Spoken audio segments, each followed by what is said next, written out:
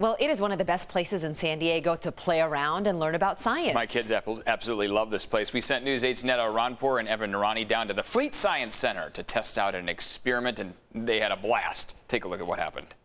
Fleet Science Center today to show one of the many experiments that the Fleet Science Center puts on related to liquid nitrogen. Yes, this place is here to make all of us smarter, learn about science. And Julia is joining us. You are one of the many experts here. And we have a really cool experiment that we're going to show you guys. So we're going to take liquid nitrogen, we're going to put it into our bottle. It'll look really, really cool.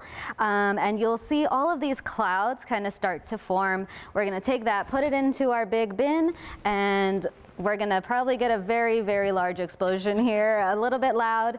So you're gonna fill that up, you're gonna tighten the bottle cap, right? Yes. And then I'll dump these balls on top. Mm -hmm. yeah, so you can see the clouds happening here.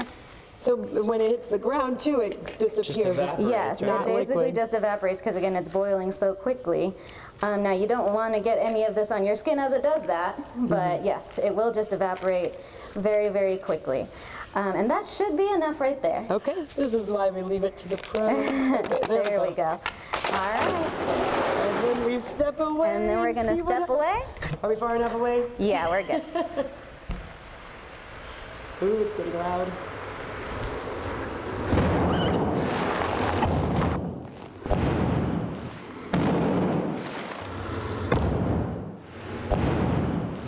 Wow. How about that?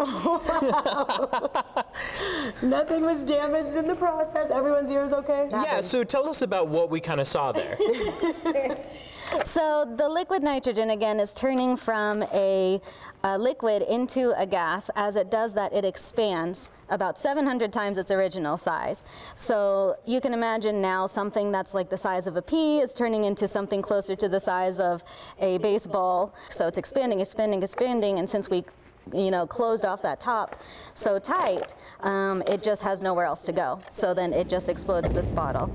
And then in that process makes the the balls come up so that we can actually see it. And it looks really fun. so. Thank you so much, Julie. Yeah. The Fleet Science Center working wonders, teaching us all kinds of new things. That's right, very exciting.